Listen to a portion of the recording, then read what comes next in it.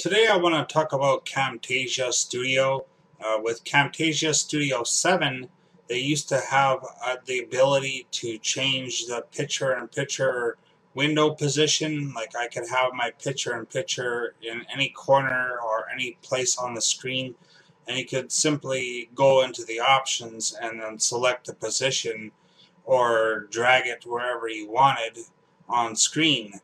Now with Camtasia Studio 8, they have removed that ability uh, to do it through the options or as easily.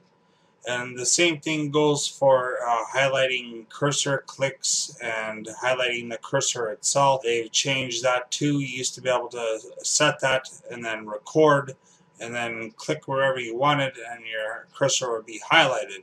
Now you have to use Camtasia to edit it and uh, inside the Camtasia software itself and then render it and then you can either edit it in Sony Vegas or continue editing it in Camtasia Studio.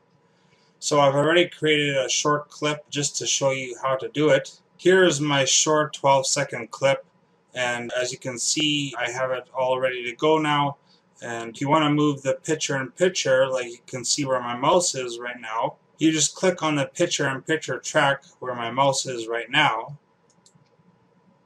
And then you would take this window left click it and then drag it wherever you like. Like I could put it right in the middle of the screen if I wanted or I could move it up in the corner here if I wanted.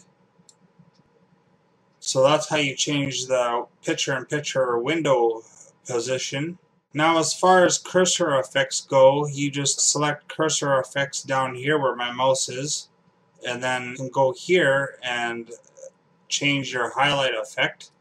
You can choose highlight, spotlight, or magnify and I usually choose highlight. And then here it says uh, left click effect.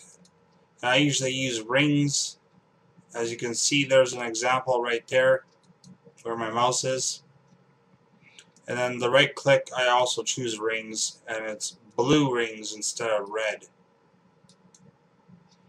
So that's how you add the cursor effects and change the picture-in-picture -picture window position in Camtasia Studio 8.